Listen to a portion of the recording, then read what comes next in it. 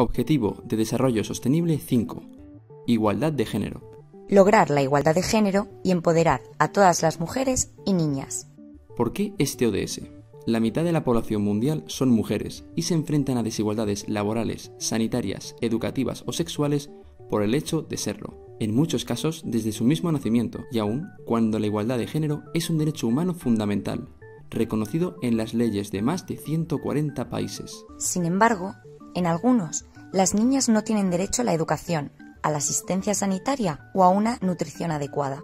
El matrimonio infantil afecta a casi 15 millones de niñas cada año. Aunque esta práctica también ha disminuido, 200 millones de mujeres han sufrido alguna forma de mutilación genital que puede producirles problemas de infertilidad, complicaciones en el parto e incluso la muerte. El 35% de las mujeres han sufrido violencia física y o sexual. La falta de educación reduce sus oportunidades de trabajo y aunque son la mitad de la población mundial en edad de trabajar, solo suponen el 39% de los trabajadores y ganan un 24% menos que los hombres.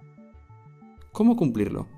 Será necesario trabajar para disminuir la discriminación de todo tipo hacia las mujeres. Esto supone dar oportunidades educativas que las capaciten para mejorar sus oportunidades de trabajo, igualmente remunerado y reconocer el trabajo no remunerado que realizan. También se les debe facilitar su acceso a la salud sexual y reproductiva, además de luchar por eliminar la violencia de género, el matrimonio infantil, la mutilación genital, la trata o la explotación sexual.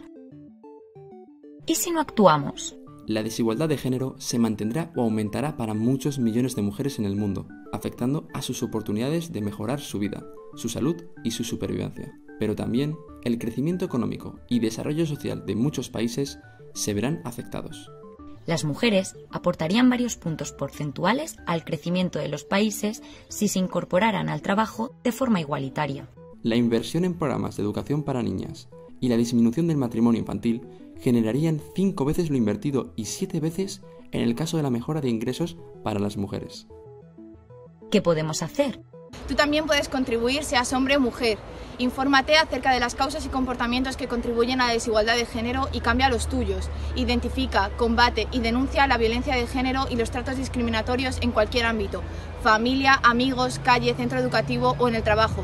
Apoya a las mujeres que lo sufren, defiende tus derechos, colabora en proyectos nacionales e internacionales que estén relacionados con las metas de este objetivo y sobre todo recuerda que el cambio hacia una sociedad más igualitaria comienza en ti.